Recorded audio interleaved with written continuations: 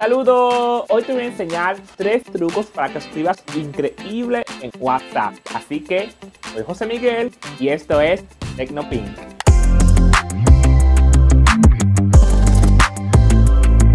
Escribir en WhatsApp bien y correctamente puede ser muy caótico a veces porque no tenemos todos los comandos que tenemos en los textos de Google o Word o cualquier texto más formalizado disponible. Pues yo te voy a enseñar aquí cómo se hace.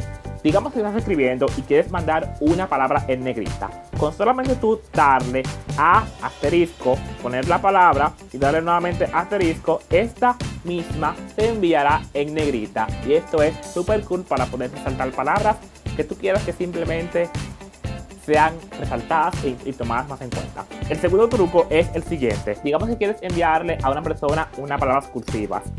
En este caso simplemente debes poner está abajo la palabra, está abajo y listo. Automáticamente se va a enviar en cursiva y se va a ver muy distinto a como tú lo envías habitualmente, que es básicamente así.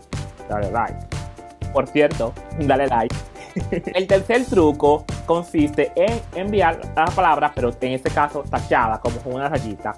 Es súper fácil. Simplemente le das aquí al 1, 2, 3, le das a más número y con ese símbolo que es como que una olita. No sé cómo se dice en inglés ni en español tampoco. Simplemente que una olita. Si tú sabes, dímelo en los comentarios. Sorry por no ser tan culto. Eh, tú simplemente escribes la palabrita y suscríbete, le das, la pones así nuevamente y se va a enviar tachado. Súper, súper cool. Esto le va a dar como que a entender que tú no quieres que haga eso, pero tú quieres que haga eso porque en este caso es que se suscriba, que es muy importante. En fin, tú me entendiste. Con ese truco tú vas a enviar la palabra tachada para en WhatsApp. El cuarto truco es para enviar palabras con dobles espacios. Es un poquito complicado, pero se logra. Simplemente le vas a dar aquí al 1, 2, 3 y vas a buscar la coma invertida. La coma, la comilla, la invertida. Le das 1, vuelves y le das 2, vuelves y le das 3 y escribes la palabra que quieras mandar. En este caso, hola, gracias por ver mi video.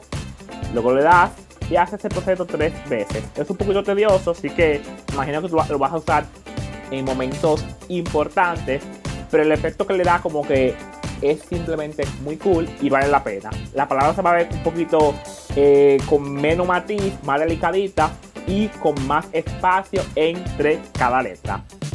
En verdad, mira cómo se ve antes y mira cómo se ve luego del truco. So, yo sé que te gustaron esos trucos. Comenta, dale like, dime cuáles me saltaron y dime cuál truco tú te sabes. Para mí fue un honor tenerte aquí en mi canal. Suscríbete para más contenido de tecnología. Es la Barbie, tampoco la pantalla rosa, José Miguel de tu canal de Tecnopink con más contenido para ti. Hasta la próxima, que Dios te bendiga. Bye.